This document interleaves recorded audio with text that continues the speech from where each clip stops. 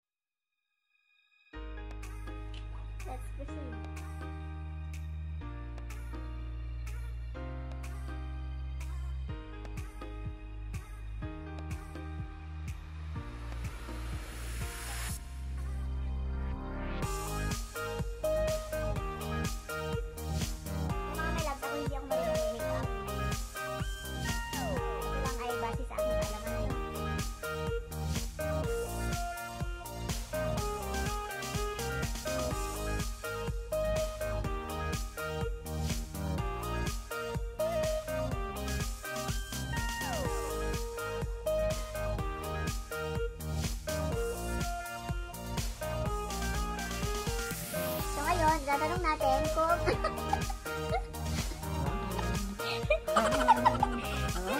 Itatanong natin. Hindi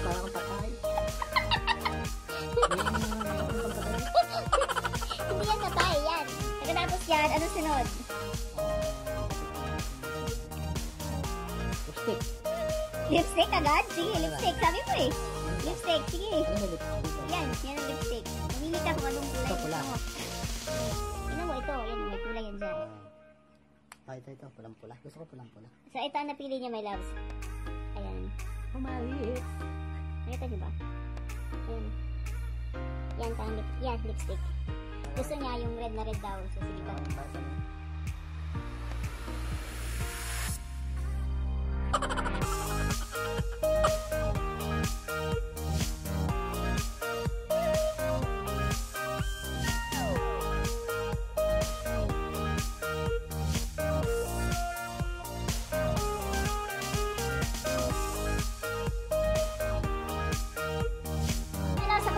mag-foundation? Tapos na siya mag-lipstick?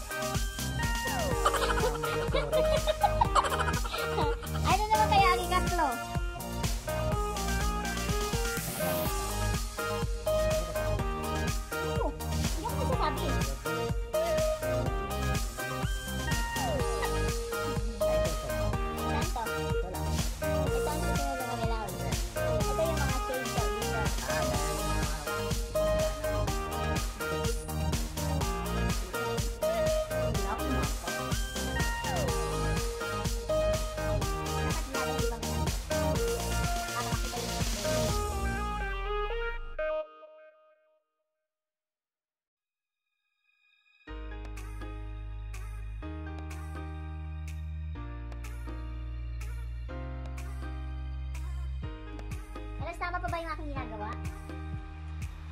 Malas talaga hindi marunong sa mag-makeup.